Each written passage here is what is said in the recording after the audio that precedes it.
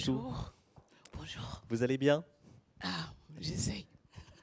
Vous avez perdu votre voix, vous avez trop chanté pendant le week-end. Non, j'ai juste la trouille. ça, va, ça va bien se passer. Votre nouveau titre, le verbe libre, le verbe libre ou le silence. Alors votre parcours, on le, on le connaît depuis le ventre de l'Atlantique. Euh, il y a eu des romans, il y a eu des essais, il y a eu aussi parfois des, coups de gueule. On connaît votre, votre tempérament, on connaît votre caractère et vous aimez bien dire les choses. Et ce livre-là, c'est aussi une façon de dire les choses. Vous avez eu envie à la fois de faire un état des lieux de ce qu'est aujourd'hui un auteur et de ce qu'est le monde de l'éditeur de l'édition. Et puis vous avez aussi eu envie, peut-être, c'est ce que vous allez nous dire ou pas, de pousser peut-être un coup de gueule sur cet univers-là. Pourquoi avoir eu envie d'écrire le verbe libre ou le silence? Déjà, après ce livre, je verrai si c'est le verbe libre ou le silence. Donc les éditeurs publient tous les livres qui critiquent tous les autres milieux. J'ai trouvé que c'était assez marrant d'être la sale gosse qui va tourner le miroir.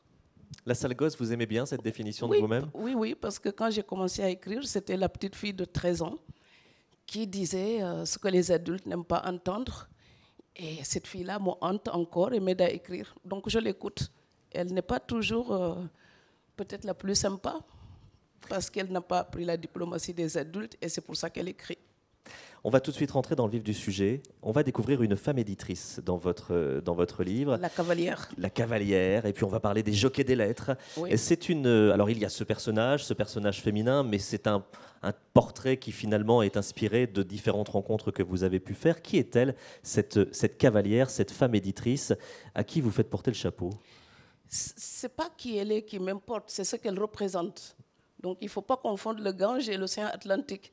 Donc la navigation littéraire, pour moi, c'est l'océan Atlantique. Cette personne-là, c'est un déclencheur, c'est un accident de parcours. Une mauvaise rencontre mal donne. Et donc ça déclenche euh, toute une réflexion. Euh, les, les bâtisseurs de cloisons, ceux qui vous assignent une identité, des thématiques, qui voudraient que je parle tout le temps de l'Afrique comme si c'était ma coquille de Bernard Lermite. Donc toutes ces choses-là, j'ai commencé à voir euh, leur visage à travers cette femme. Je suis sûre qu'on aurait pu se rencontrer dans d'autres domaines, on se serait peut-être adoré. Il se trouve qu'elle est un peu cornaque, cochée, jockey. Eh ben, c'est la cavalière. Et je n'ai pas voulu ces cavalcades parce que j'aime bien écrire à mon rythme.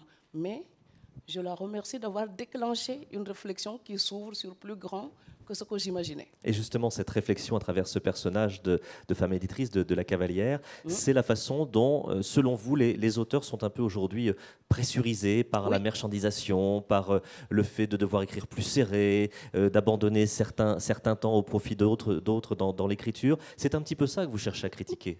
Oui, c'est le côté. euh, J'aime bien m'investir dans l'écriture. Non. Si vous êtes éditrice, éditez-moi, laissez-moi écrire mes livres.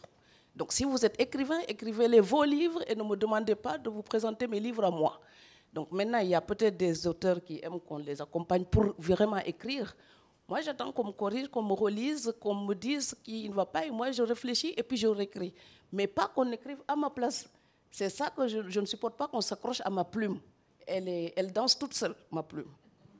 C'était important que ce livre arrive maintenant dans votre parcours de femme et, et, d'auteur, d'autrice? Oui, parce que je dis, il y a des, livres euh, impatients qui vous tombent dessus comme une averse et qui alourdissent votre barque. Donc c'est comme la houle.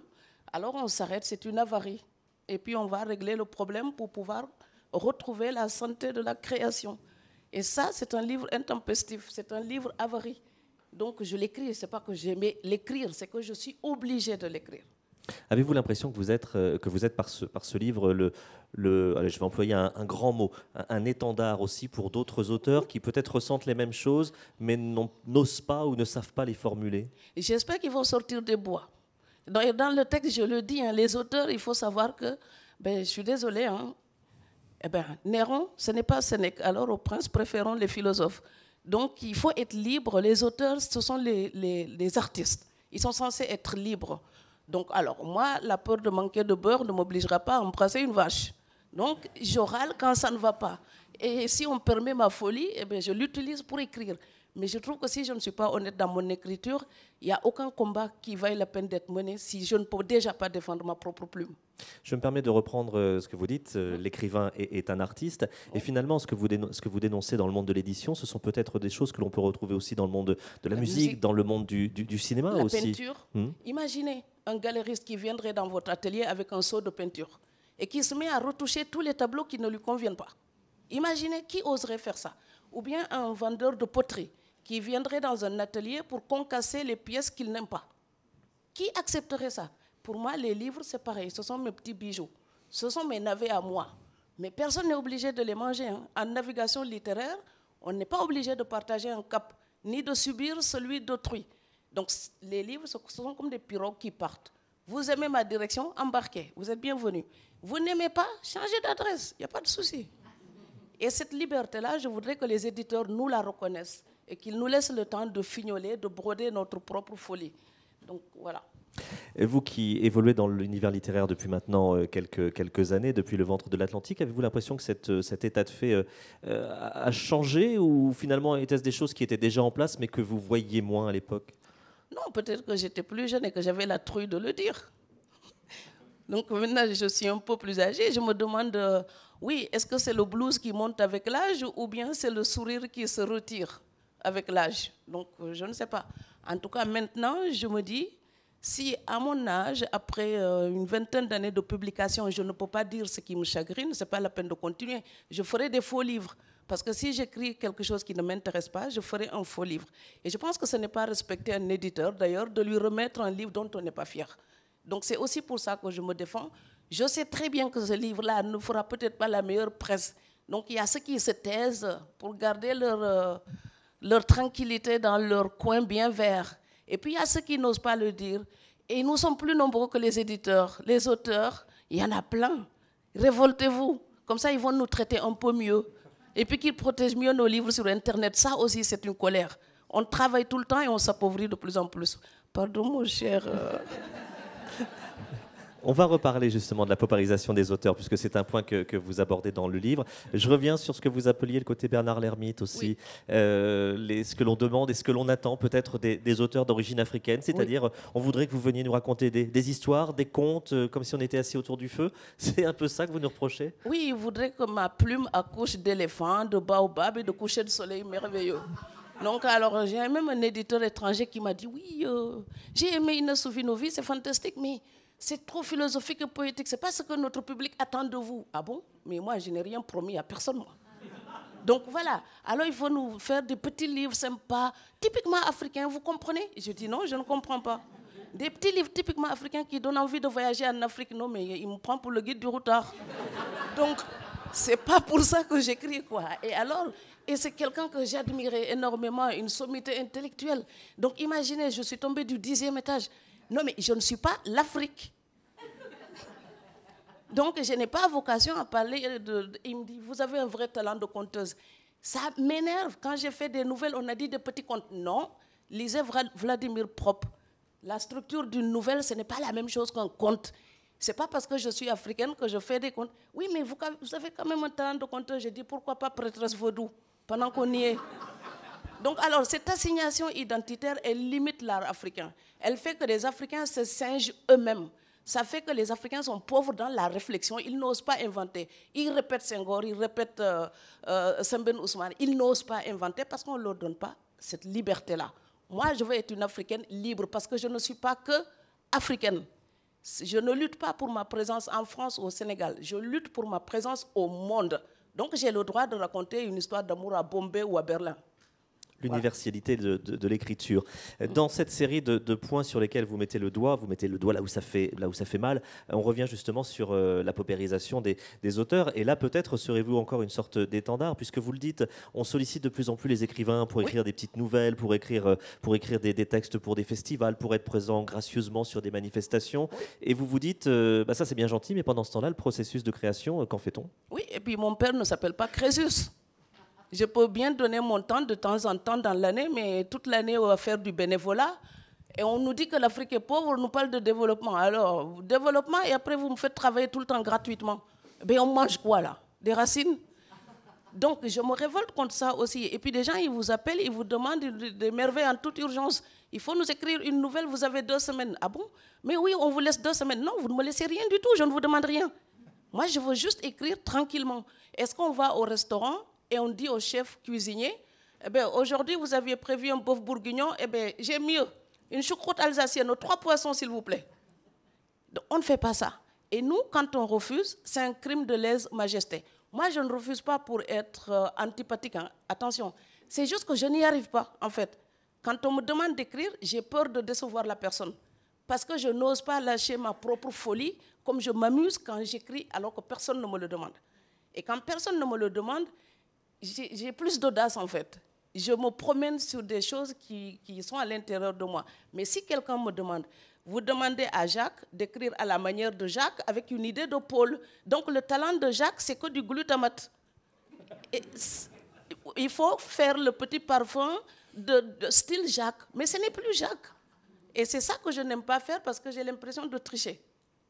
Pour évoquer tous ces points qui vous hérissent le poil, on l'a bien compris, euh, Fatou, vous choisissez une, une écriture qui, est un petit peu la même que celle que vous avez cet après-midi. C'est-à-dire que vous, vous dites les choses, vous, vous, nous les, vous nous les lancez. Alors bien sûr, elles sont, elles sont mises en forme, mais vous ne cachez rien. Vous allez franco dans votre, dans votre écriture. Oui, parce que je sais qu'il y a les restes du cœur.